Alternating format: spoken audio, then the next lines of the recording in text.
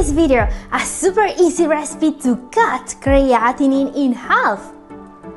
A vitamin that slows down kidney disease by more than 40%. And a way to solve the biggest issues CKD patients are facing. And more. Actually, I have 10 tips, 10 incredibly small changes in the renal diet that will produce the biggest results in terms of lowered creatinine levels. Katherine here, I've been working with people suffering from kidney problems for more than a decade now. And let me tell you, there is one undeniable truth I've learned during these years. Your diet plays a pivotal role in boosting kidney function and slashing your creatinine levels at the point that even stage 5 patients have been able to lower their creatinine levels when they were given the right advice. And that's exactly what I want to do today. These are the 10 best tips that can make a huge difference when it comes to lowering creatinine levels. Imagine tip number one as the low hanging fruit of kidney health. A tip so simple, even your pet goldfish could follow it. Because following the right diet is like giving your kidneys a well deserved spa day. And that's what we are going to focus on today easy ways to cut your creatinine levels. So are you ready to uncover the 10 smallest changes in your renal diet that can yield the biggest results? All backed by the power of science? Let's start immediately. Number 10. Drink garlic tea first thing in the morning. This is a 100% natural tea made from ingredients you probably already have in your pantry. Yeah, I told you these tips were gonna be easy. And yet, the healing protecting properties it boasts are powerful because it's made with garlic. And you want to use fresh garlic for this recipe and to mince it about 10 minutes before starting to prepare the tea. Garlic has amazing kidney protecting benefits. It can lower your blood pressure by 11 over 5 millimeters of mercury. It helps with blood sugar levels and when mixed with lemon, it may even help with cholesterol levels. And let's also add fresh ginger. This is around 3 or 4 grams. Ginger will make the taste of garlic less noticeable and will also protect your kidneys. It's a powerful anti-inflammatory. Now we need 3 fresh lemons. Let's juice them very quickly. Lemon is one of the most alkalizing foods on earth and it's also a powerful kidney detoxifier. Last ingredient is Cinnamon, great for those with diabetes. This spice has the confirmed property of improving insulin sensitivity. And last, let's add some water and bring it to a slow boil.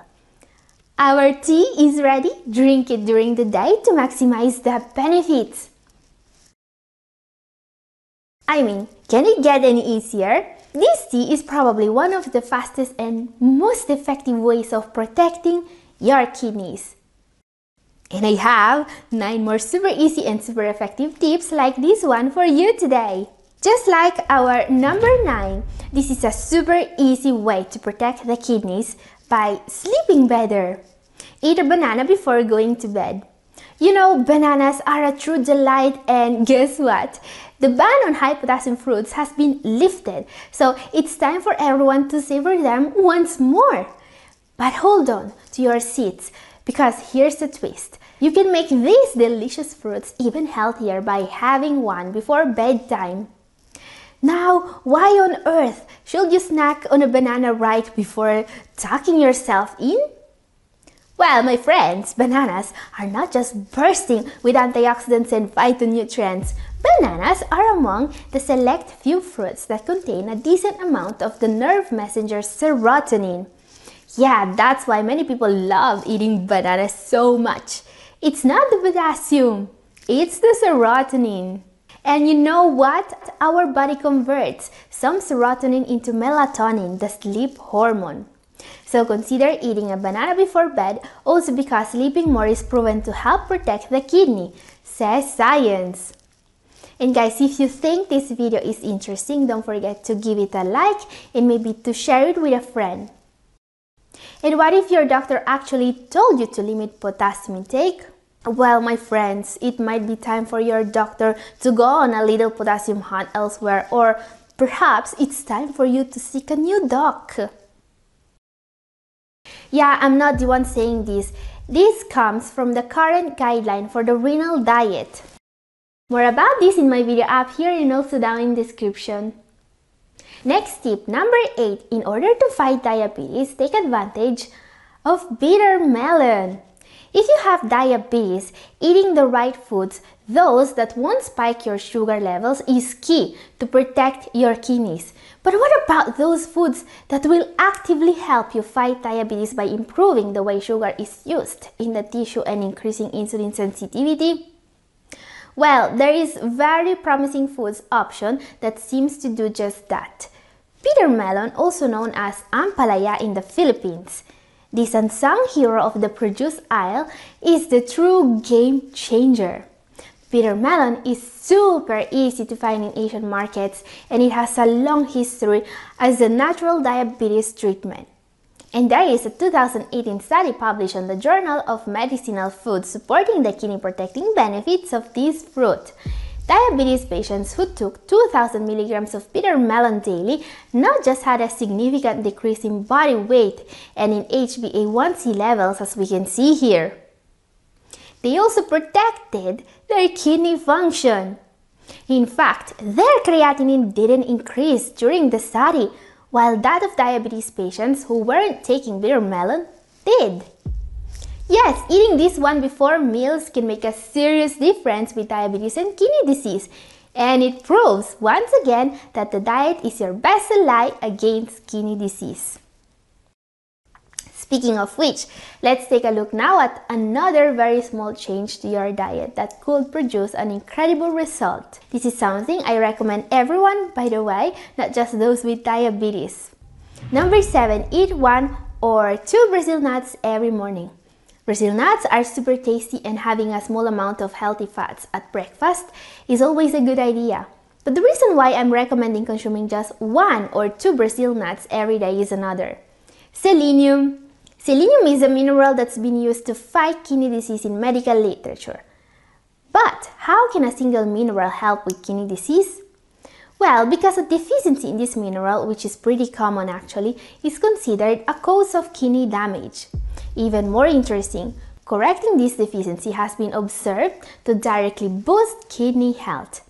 In this placebo-controlled trial, those supplementing selenium as well as CoQ10 for 48 months had a huge improvement in kidney function.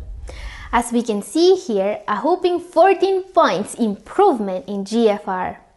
So yeah, consider adding Brazil nuts to your diet, but no more than one or two per day. Keep in mind that Brazil nuts are very rich in selenium. The daily selenium target or RDI can be achieved with just two Brazil nuts and you don't want to get more than that. Our number 6 now, this tip is aimed at filling another nutritional gap. A deficiency that's not just linked to worse kidney health but also to diabetes, obesity, high blood pressure and metabolic disease. I'm talking about dietary fiber.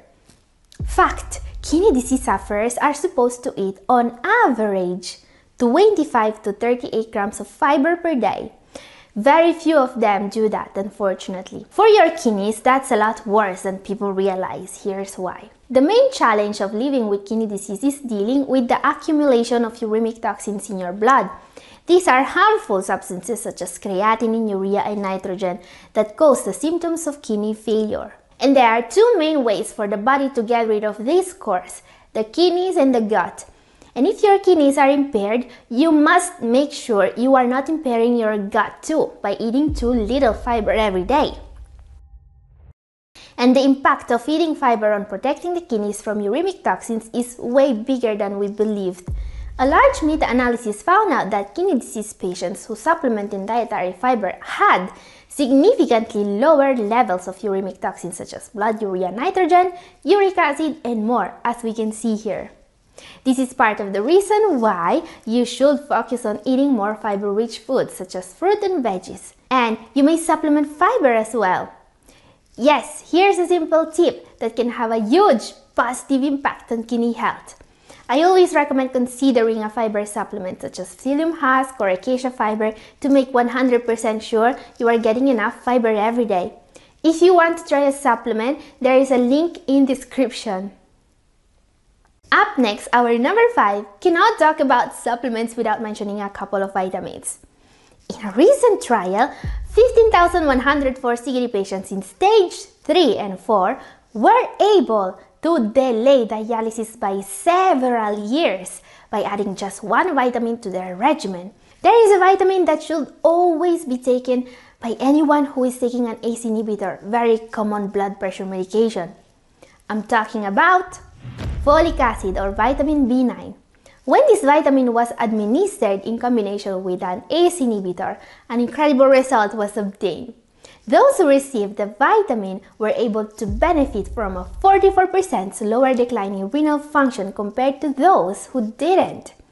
And that's huge, and it means they were able to delay dialysis by years just thanks to a single vitamin. So always make sure you are getting enough vitamins of the B group especially if you are taking a blood pressure medication or if your homocysteine levels are too high. 0.8 milligrams a day of folic acid were used in 15,104 patients to slow down CKD by 44%. Another vitamin you should always make sure you are not low on. Number 4. Use vitamin D to fight proteinuria. Proteinuria levels is something all CKD patients should be aware of. If this level is too high, it means kidney function is going to decline fast. Up to 90% of kidney disease patients have low levels of this vitamin and that can contribute to kidney damage and proteinuria. Now some good news, supplementing vitamin D may result in a very fast improvement in proteinuria levels.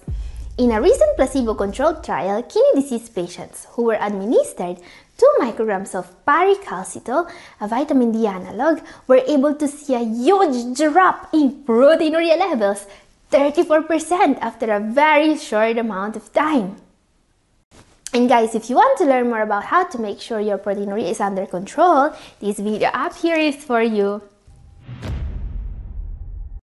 Next, we are in the top 3 now. Some powerful ways to lower your creatinine are coming. What we're going to see now is a way to decrease the absorption of a mineral that's considered by modern science a huge issue for people with kidney disease, a huge cause of kidney damage. No, I'm not talking about potassium. I'm talking about number 3, Use Tums to control phosphorus. Many studies are confirming that phosphorus is a dangerous uremic toxin and that higher intakes are linked to a faster decline in kidney function.